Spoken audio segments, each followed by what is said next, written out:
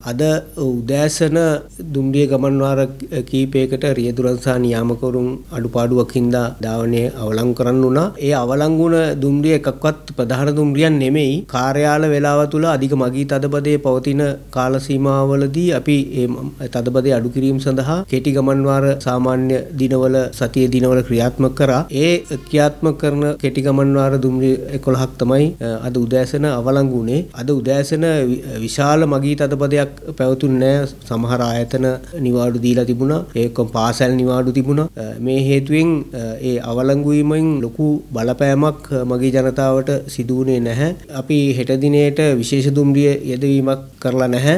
නමුත් අපි සාමාන්‍ය දුරගමන් දුම්රිය සේවාවන් සාමාන්‍ය පරිදි ධාවනය කිරීමට බලාපොරොත්තු වෙනවා. හෙට දිනේ අපි හිතනවා කාර්යාල දුම්රිය සියල්ලම වගේ ධාවනය කරන්න අපිට හැකියාව ලැබෙයි කියලා. මේ අතර හෙට රාත්‍රියේ සිට විශේෂ බස් සේවා නතර කෙරෙන අතර සාමාන්‍ය පරිදි බස් ධාවනය සිදු කෙරෙන බව ගමනාගමන මණ්ඩලයේ සභාපති ලලිත්ද අල්විස් මහතා ප්‍රකාශ කළා. දැනට ගම්බිම්බලා ගිහිගෙන ඉන්න මේ මගේ ජනතාවට දෙන්න තියෙන පරිදි තමයි හෙට රාත්‍රියේ 12න් පසු අපේ විශේෂ අවුරුදු බස් රථ සේවාව නතර වෙනවා. ඒතර සුපුරුදු පරිදි සාමාන්‍ය කාලසටහන් වලට තමයි අපේ බස් රථය යොදවන්නේ. ඒ නිසා යම් මගීන් අපේක්ෂා කරනවා නම් හෙටින් පසුව ගම්බිම්බලා ගියාය කොළඹ හෝ නැත්නම් තමන්ගේ සේවාස්ථාන කරා යන්න සාමාන්‍ය බස් රථ කාලසටහන් අනුව තමයි ධාවනය වෙන්නේ. ඒක ඒ බස් රථ තියෙන වෙලාවට ගියොත් Tamanට බස් රථයක් ලබා ගන්න පුළුවන්. එහෙම නැතුව විශේෂ බස් රථ සේවා ක්‍රියාත්මක වෙන්නේ නැහැ.